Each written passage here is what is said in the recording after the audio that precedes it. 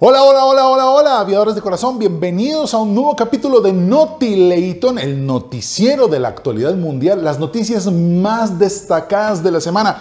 Y hoy, hoy hay un plato fuerte servido para todos ustedes los que aman la aviación, así que sin más demoras, vamos a las noticias.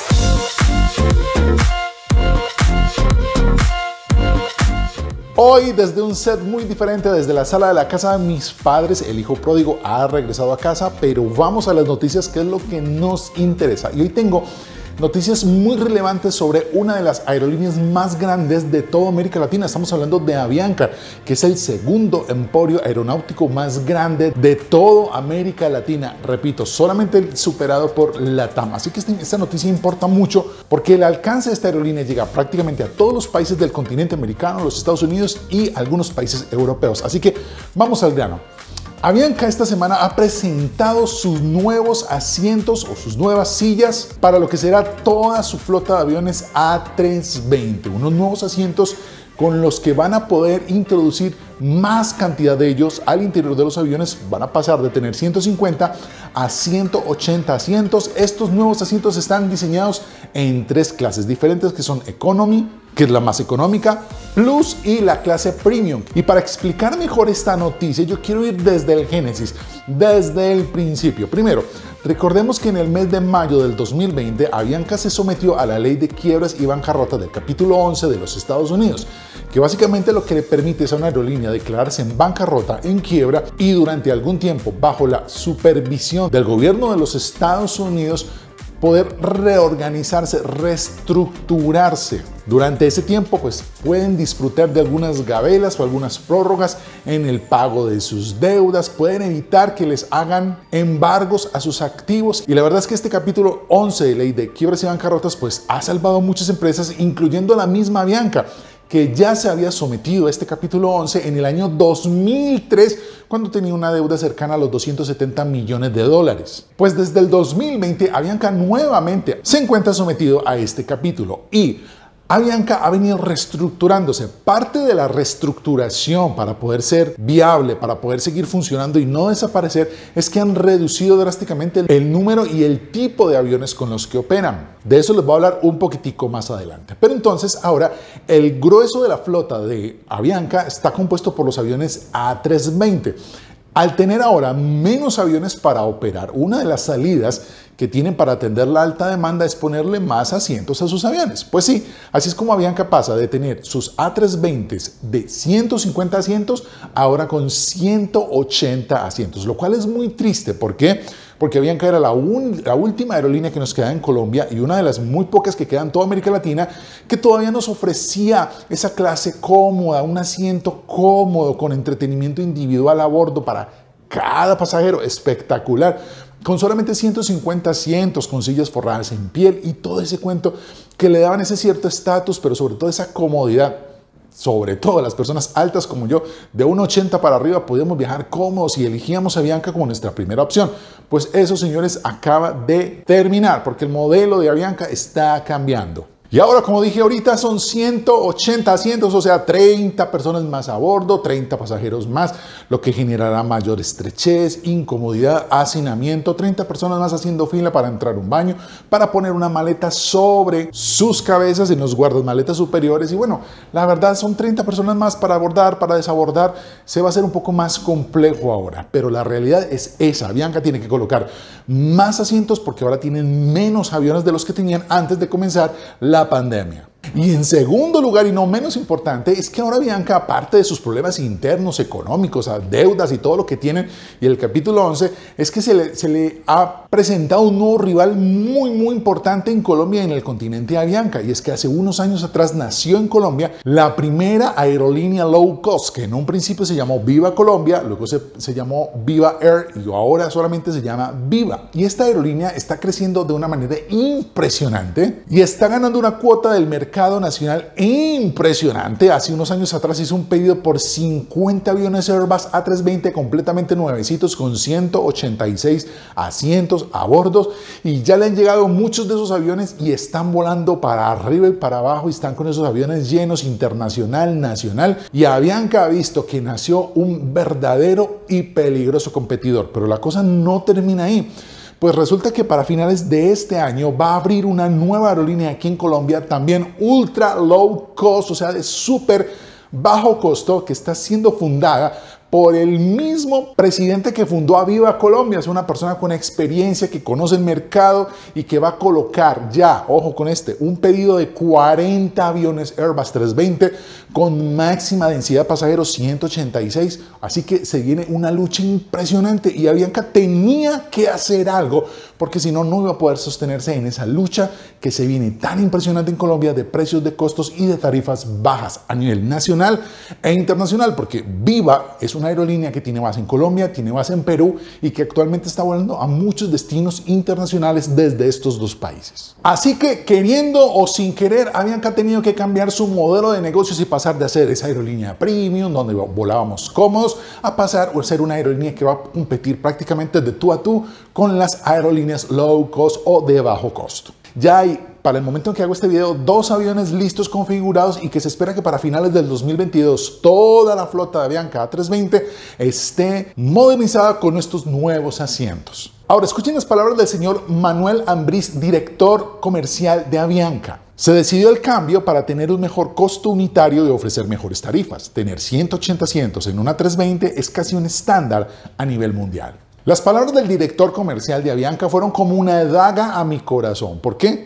Si escucharon eso último, 180 sillas en los A320 se está convirtiendo en un estándar internacional.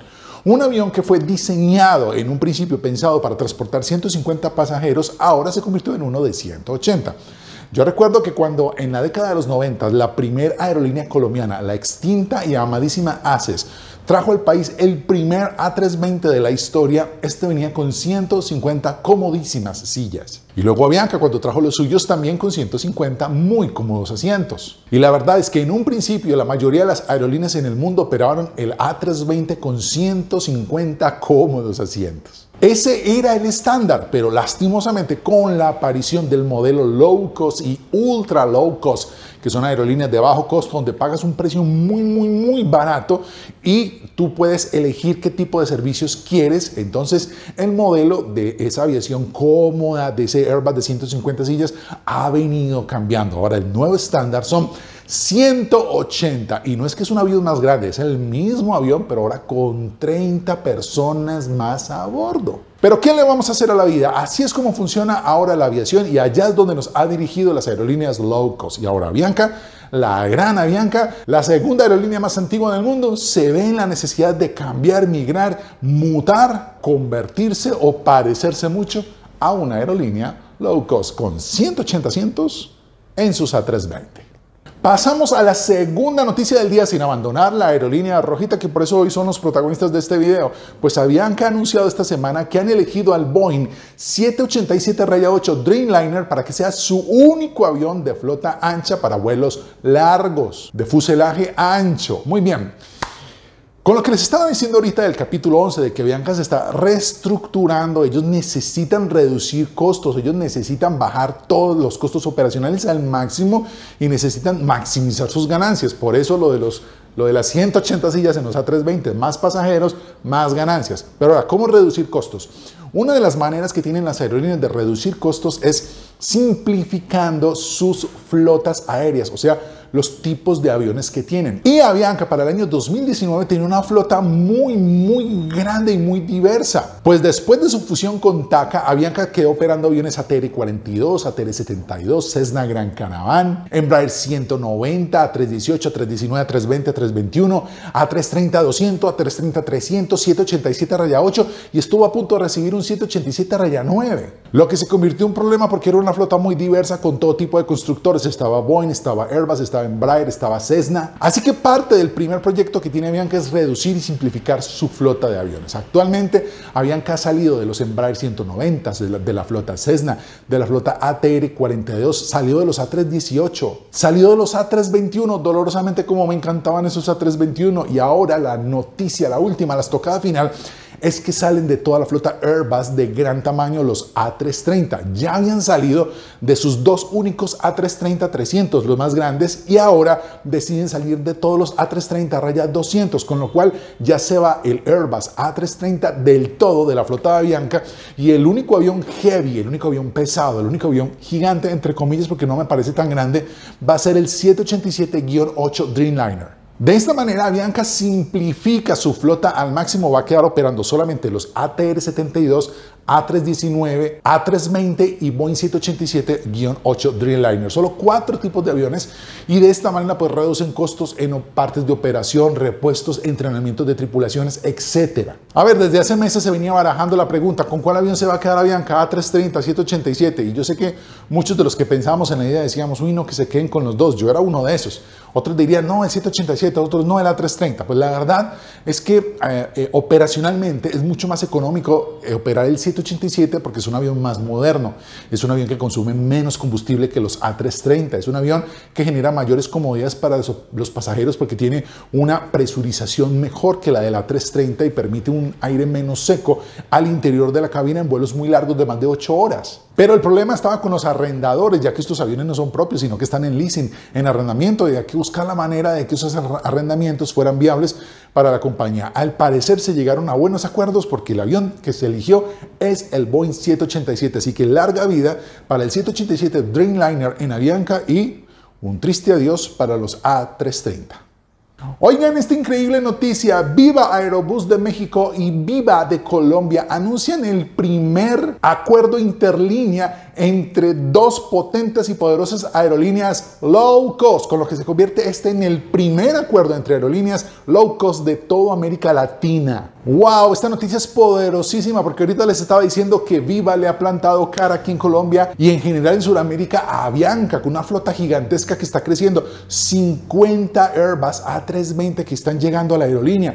Viva. Pero además en México, Viva Aerobús, que es otra gigantesca empresa aerolínea low cost, pues deciden estos dos gigantes del aire unirse. Y esto no significa que va a desaparecer cada una y se van a volver una sola, no. No, sigue siendo Viva de Colombia y Viva Aerobús de México, pero van a unificarse para poder atender a los pasajeros de una mejor manera. Así que un pasajero de Viva va a poder volar por Viva Aerobús. Alguien que esté transitando entre México, Colombia, Perú va a poder utilizar indistintamente cualquiera de las dos aerolíneas con todos sus servicios a bordo. Pero lo real realmente llamativo de esta noticia es que es la primera vez que dos aerolíneas low cost, un modelo que está creciendo muchísimo en América Latina, se unen, unen sus fuerzas para ofrecer servicios muy grandes que van ahora desde México prácticamente hasta Perú. Por lo que esta noticia va a tener mucho impacto en los futuros vuelos de miles y miles de viajeros de América Latina. Y por último, quiero terminar con una muy, muy, muy buena noticia. A, lo largo de las semanas, ustedes han visto, como les he estado contando, como muchas aerolíneas deciden sacar de servicio sus A380, la ballena europea alada. Pero hoy las noticias son inversas porque ha dado un giro el mercado en estos últimos días y varias aerolíneas han anunciado que volverán a traer al aire a sus A380 y esa es una noticia que hay que celebrar. Como ustedes saben, el A380, la ballena europea, nació para competirle a la reina de los cielos, al Jumbo Boeing 747. Pero pocos años después de haber eh, lanzado este producto, tan solo en el año 2015 ya no se vendió ni un solo A380. Y luego, cuatro años después, en el 2019, Airbus decide que no lo construirían más, terminando de esta manera, con un ciclo muy corto de un avión súper poderoso y legendario. Quedará registrado en la historia de la aviación comercial mundial. Y cuando el COVID aparentemente le dio la última estocada a la ballena voladora europea, ahora parece que hay señales de resurrección. Sí, la principal aerolínea del mundo que opera el A380 es Emirates, una poderosísima y muy adinerada aerolínea. Pues Emirates opera la flota más grande del mundo de A380, 115 aviones, de los cuales ya 50 se encuentran en operación. Impresionante. British Airways acaba de anunciar que de sus 12 aviones, 4 ya comienzan a volar y que nuevamente unirán el Reino Unido con los Estados Unidos. Singapore Airlines ha anunciado que sus 12 aviones volverán a operaciones comerciales. La última que lo ha hecho, Qantas, la australiana Qantas, ya dijo que de sus 12 aviones, 5 aviones volverán próximamente este mismo año al ruedo. Qatar, que es muy importante, la aerolínea Qatar ha anunciado que de sus 10 aviones, 5 regresan ya a, volar y los otros 5 se espera que regresen el otro año previo al Mundial de Qatar del 2022. Y entre Asiana y Korean, aerolíneas asiáticas ya han anunciado que alrededor de 16 a 380 volverán a los aires. Así que estas son excelentes noticias que ahora más aerolíneas se sumen luego de que muchos habían dicho que los iban a sacar, que los iban a jubilar, que los iban a desmantelar, que los querían vender. Pues ahora comenzamos a recibir buenas noticias. Ha sido una semana poderosísima para el A380 y sobre todo cuántas que ha sido la última en sumarse a esta avalancha de aerolíneas que deciden regresar sus 380 al aire. No serán todas las aerolíneas, no serán todos los aviones, pero algo es algo que comiencen a regresar. Y esto es una buena señal de lo que está sucediendo con el mercado aéreo mundial. Esto muestra que ya hay una reactivación muy grande, sobre todo en los vuelos más largos o entre ciudades que tienen muchísima demanda donde un avión de tanta capacidad cae como anillo al dedo. Así que salud por el A380 y salud por la reactivación de la aviación mundial. Muy bien, queridos aviadores de corazón, hasta aquí llegamos con el capítulo de hoy de Naughty Layton. Espero que les haya agradado. Cuéntenme cuál de las noticias que les compartí hoy les ha llamado más la atención. Las 180 sillas del modelo de A320 para Avianca, el Dreamliner que se queda y gana la batalla sobre el A330 en Avianca, la primera fusión de dos aerolíneas ultra low cost en América Latina o el regreso de la ballena alada europea. A ver, escriban aquí abajo donde ustedes son los protagonistas, sus opiniones. Se despide de ustedes este Capilayton, piloto comercial y loco por los aviones. Y ustedes no lo olviden, siempre los mejores, los aviadores de corazón. Dios los bendiga y ahí nos vemos.